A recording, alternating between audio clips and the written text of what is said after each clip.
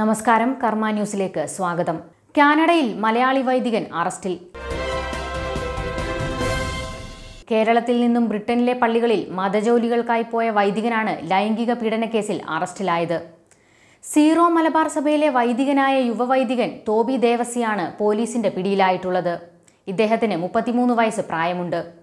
തോബി ദേവസ്യ പള്ളിയിൽ വന്ന ഒരു വെള്ളക്കാരി സ്ത്രീയെ പീഡിപ്പിച്ചതാണ് മലയാളി വൈദികനെതിരെയുള്ള കുറ്റകൃത്യം. പരാതി വന്നതും പോലീസ് കർശന നടപടിയെടുക്കുകയായിരുന്നു. വൈദികൻ താമസിക്കുന്ന സ്ഥലത്ത് ചെന്ന് പോലീസ് പൊക്കി. അറസ്റ്റും രേഖപ്പെടുത്തി. കേരളത്തിലെ പോലെ സഭയുടെ ഇടപെടലുകളും രാഷ്ട്രീയക്കാരുടെ ഇടപെടലുമൊന്നും ബ്രിട്ടനിലും കാനഡയിലും നടക്കില്ല. അവിടെ കുറ്റകൃത്യം കണ്ടാൽ പോലീസാണ് എല്ലാ നടപടിയും ചെയ്യുക. രക്ഷപ്പെടാൻ കുറ്റവാളിക്ക് സൂചി പഴുതുപോലും കൊടുക്കില്ല. അതായത് ബൈബിൾ വാചകം തന്നെ ഉദ്ധരിച്ചാൽ പാശ്ചാത്യ നാട്ടിൽ വൈദികൻ ലൈംഗിക പീഡനം നടത്തിയാൽ ഒട്ടകം സൂചിക്കുഴയിലൂടെ കടക്കുന്നതിലും വിഷമമായിരിക്കും രക്ഷപ്പെടൽ.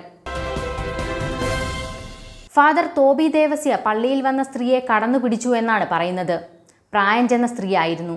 തന്റെ പ്രായം പോലും പരിഗണിക്കാതെ വൈദികൻ തന്റെ ശരീരത്തിൽ അസാധാരണമായി സ്പർശിച്ചു എന്നായിരുന്നു സ്ത്രീയുടെ പരാതി. ലണ്ടനിലെ കിങ് എഡ്വേർഡ് അവന്യൂവിലെ പള്ളിയിലായിരുന്നു സംഭവം നടന്നത്. തുടർന്ന് വൈദികൻ കാനഡയിലേക്ക് പോലീസ് പിടിക്കാതിരിക്കാൻ രക്ഷപ്പെടുകയായിരുന്നു എന്നാണ് പറയുന്നത്. എന്തായാലും രാജ്യം വിട്ടാലും മലയാളി വൈദികനെ പിടിക്കുക തന്നെ ചെയ്തു. ലണ്ടൻ കാത്തലിക് രൂപതയുടെ കീഴിലാണ് പള്ളി. ജൂൺ ഇരുപത്തിനാലിനാണ് കേസിനാസ്പദമായ സംഭവം നടന്നത്. പീഡനത്തെക്കുറിച്ച് റിപ്പോർട്ട് സമർപ്പിച്ചതിനെ തുടർന്നാണ് ഇയാളെ അറസ്റ്റ് ചെയ്തത്. ദേവാലയത്തിന്റെ അഞ്ചാം വർഷ ആഘോഷത്തിന്റെ ഫേസ്ബുക്ക് ചിത്രങ്ങളിൽ ഇദ്ദേഹമുണ്ട്. ലണ്ടനിലെ കോടതിയിൽ വരുന്ന ജൂൺ ഇരുപത്തിനാലിന് അറസ്റ്റിലായ വൈദികനെ ഹാജരാക്കും. കാനഡയിൽ ഇത്തരത്തിൽ അറസ്റ്റിലാകുന്ന ആദ്യ മലയാളി വൈദികനാണ് തോബി ദേവസ്യ. മുമ്പ് ഓസ്ട്രേലിയയിൽ നിന്നും മലയാളി വൈദികനെതിരെ ഇത്തരത്തിൽ ലൈംഗിക പരാതി ഉയർന്നിരുന്നു. ഇതും സീറോ മലബാർ ചർച്ച് വൈദികനായിരുന്നു.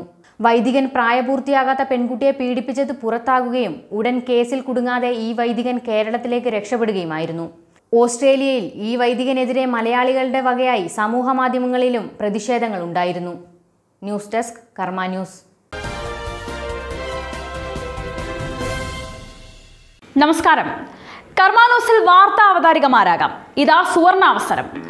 ഒരു ദിവസം മുപ്പത് ലക്ഷം പ്രേക്ഷകരുള്ള മലയാളത്തിലെ ഏറ്റവും വലുതും ആദ്യത്തേതുമായ സ്വതന്ത്ര വെബ് ചാനൽ കർമാനൂസ് വാർത്താ അവതാരകമാരെ തിരഞ്ഞെടുക്കുന്നു.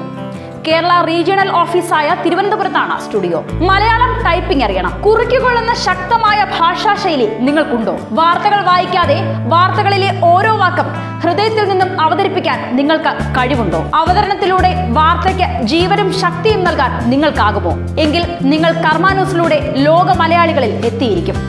നിങ്ങൾ ചെയ്യേണ്ടത് ഇത്രമാത്രം. നിങ്ങൾ ഒരു വാർത്ത അവതരിപ്പിക്കുക. പ്രത്യേകം ശ്രദ്ധിക്കുക ഇത് വായനാ മത്സരമല്ല. കരുത്തുറ്റ വാർത്ത അവതരണമായിരിക്കണം. നിങ്ങൾ സ്വന്തം മൊബൈലിലെടുത്ത ഒരു ചെറിയ സാമ്പിൾ വീഡിയോ അല്ലെങ്കിൽ നിങ്ങൾ ചെയ്ത ഒരു വീഡിയോ ഫയൽ ഞങ്ങളുടെ ഏഴ് അഞ്ച് അഞ്ച് ഒൻപത് പൂജ്യം രണ്ട് രണ്ട് മൂന്ന് പൂജ്യം രണ്ട് എന്ന നമ്പറിൽ വാട്സപ്പ് ചെയ്യുക.